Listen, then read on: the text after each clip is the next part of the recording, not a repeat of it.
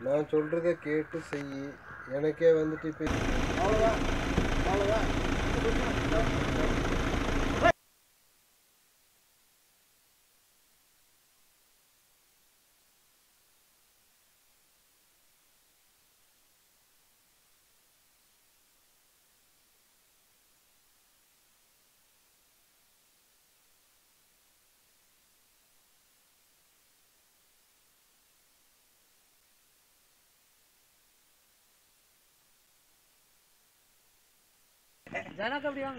சரிங்க காலைல ஒரு சிக்ஸ் தேர்ட்டி சரி கூப்பிடுறோம் வாங்க கொடுத்த நம்பர் கூப்பிடுங்க. ஏன்னா இப்போ நம்ம இறங்கி காலைல வாங்க அந்த வாங்க எல்லாம் சேர்ந்து தேடுவோம். தேடிக்கலாம். எல்லாம் நாளைக்கு அது புள்ளி வந்துதான். கேஸ் பார்த்தாலே தெரிஞ்சிடும் இருக்கா இல்லையான்னு சரி சார்.